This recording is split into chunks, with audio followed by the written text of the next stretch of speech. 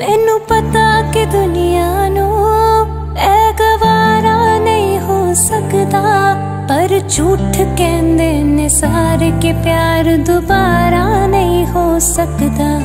ਪਰ ਝੂਠ ਕਹਿੰਦੇ ਨੇ ਸਾਰੇ ਕਿ ਪਿਆਰ ਦੁਬਾਰਾ ਨਹੀਂ ਹੋ ਸਕਦਾ। ਤੂੰ ਮੈਨੂੰ ਪੁੱਛ ਨਾ ਕੋਈ ਸਵਾਲ ਹੋ ਚਲ ਦੂਰ ਕਿਤੇ ਮੇਰੇ ਨਾਲ।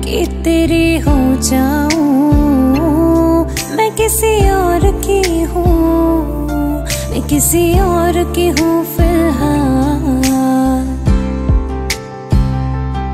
हो कुछ ऐसा कर कमाल कि तेरी हो जाऊ कुछ ऐसा